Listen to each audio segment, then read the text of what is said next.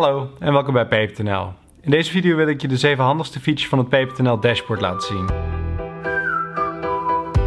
We doen er alles aan om het online ondernemen een stukje makkelijker voor je te maken. Daarom hebben we het dashboard zo ingericht dat het als handige overzichtspagina kan dienen waar jij inzicht krijgt in jouw betaalinformatie. Maar het kan nog veel meer en dat laat ik je zien. 1. Mededelingen. Hier zorgen we ervoor dat je altijd up-to-date bent. Je krijgt hier meldingen van belangrijke nieuwsberichten, software-updates, nieuwe features en gepland onderhoud van onze systemen of systemen van derde partijen. Ook krijg je hier berichten van je persoonlijke accountmanager. Bijvoorbeeld in het geval dat er nog iets geregeld moet worden. 2. Clearing overzicht. Hier vind je de belangrijkste betaalinformatie. Je ziet je boeksaldo, dat is het bedrag wat nog bij ons open staat, het bedrag wat bij de volgende clearing wordt uitbetaald en de datum wanneer die uitbetaald gaat worden. Je kunt hier ook met één druk op de knop de specificaties van de vorige clearing downloaden. 3. Omzetdiagrammen. Hier zie je de omzet van je online betalingen in twee diagrammen.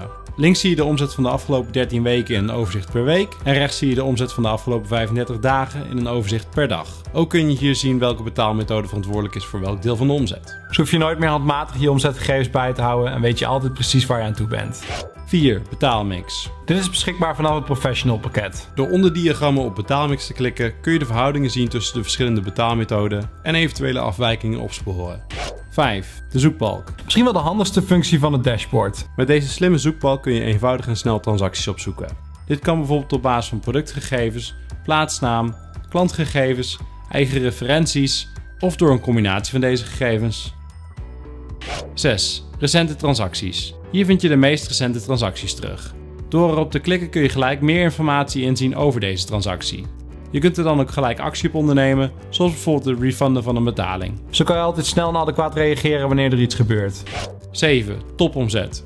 Hier kun je gelijk zien waar het grootste deel van jouw omzet vandaan komt. Je kunt hier kiezen om de verschillen te bekijken per land, website, betaalprofiel of betaalmethode. Standaard zie je welke betaalmethode de meeste omzet voor je heeft gegenereerd in de afgelopen 35 dagen en hoeveel procent van je totale omzet deze betaalmethode heeft gezorgd. Ik hoop dat ik je hiermee wat meer inzicht heb gegeven in hoe je het dashboard kunt gebruiken om online ondernemen een stukje makkelijker te maken. Misschien dat je nu wat vaker overzicht voor jezelf kunt creëren door een kijkje te nemen op het dashboard. Voor nu, bedankt voor het kijken en veel plezier met online ondernemen.